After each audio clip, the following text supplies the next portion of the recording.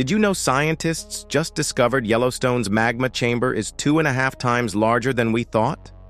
There's enough molten rock beneath your feet to fill the Grand Canyon 11 times over. For decades, researchers knew about one magma chamber four miles underground, but advanced seismic imaging just revealed a second reservoir hiding 12 to 28 miles down. This hidden chamber is four times bigger than the shallow one everyone knew about. Here's the terrifying part. It contains 98% solid rock with just 2% melt.